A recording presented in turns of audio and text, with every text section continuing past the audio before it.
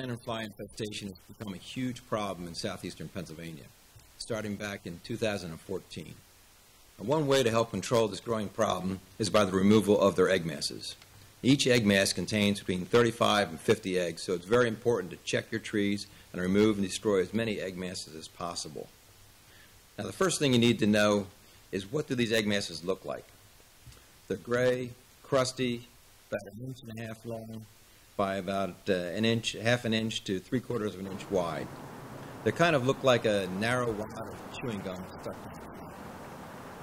uh, now, these egg masses um, are not to be confused with lichen. Lichen is also gray in color, so gray and green, but generally it's larger, more rounded, and uh, often lichen is harmless in trees and doesn't have to be removed. Egg masses themselves tend to be kind of uh, humped in the, in the center in the center there, uh, where they're covering the eggs. Now, these spotted lanternfly egg masses can be can be found on any smooth surface. Can be rocks, can be fences, can be trees. They seem to, on the trees, they seem to prefer the shady undersides of the branches. The one good thing about this preference is that it makes the majority of them visible and potentially removable. Now, as you can see on this red maple, they could be anywhere from 6 to 20 feet off the ground. Spotted lanternfly egg masses can be destroyed any time from the fall when they lay their eggs until the end of April when they'll be ready to hatch. Penn State Cooperative Extension Agency has a wealth of information on the control of spotted lanternfly. They've been studying this problem for a long time and they are the go-to place for, for information. They have uh, several informational pamphlets that you can download from the website.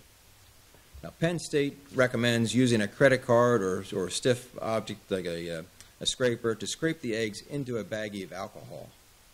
I find this is great if the egg masses are e within easy reach, but as you can see uh, from the video, a lot of them are up out of reach.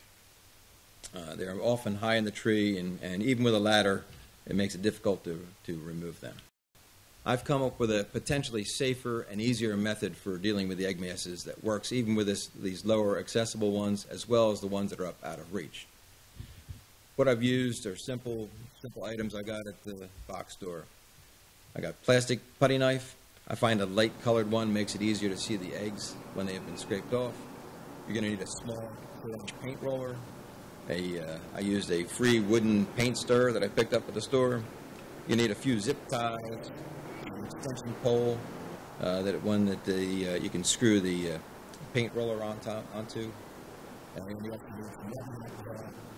a small paint tray or shallow pan to put the alcohol in. Uh, you'll need a, a gallon Ziploc bag and some paper towels or wet wipes that you can use to remove the eggs off with a scraper.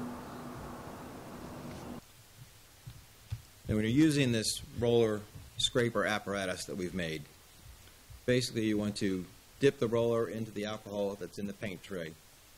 You're going to roll it on the egg mass. Now this will dissolve the outer gray coating, exposing the eggs. Once the eggs are exposed, you can flip the, uh, the roller around and use the putty knife to scrape off the eggs. A couple of passes with the putty knife will remove most of the eggs. Once that's done, flip the paint roller apparatus again and you go over the area uh, that you treated with more alcohol. There'll be enough in the roller to do this uh, additional uh, rolling. Now, any loosened eggs will be picked up by the roller and make it easier, easier to destroy. When you're done with each egg mass, wipe the eggs off the scraper with a wet wipe and place them in a Ziploc bag. I found that the additional benefit of the rubbing alcohol is that the, egg, the removed eggs will stick to the scraper keeping them, preventing them from falling to the ground and uh, possibly hatching. Because you're going to be applying rubbing alcohol above your head, I strongly suggest you wear safety goggles to protect yourself from any potential eye damage from any splashing alcohol. While this method has not been approved by Penn State and may not be 100% effective, it should give us a way to help in the fight against the spotted lanternfly invasion. Uh, once you've finished up your treatment of the uh, spotted lanternfly egg masses, I suggest that you follow it up with a band of sticky tape around the tree trunk. This will catch any of the nymphs that may, you may have missed or have fallen to the ground. Now, there is some concern about small birds being stuck to the flypaper. You can prevent this by wrapping a piece of chicken wire loosely over the tape to prevent this occurrence. I thank you for your help in this fight, and happy hunting.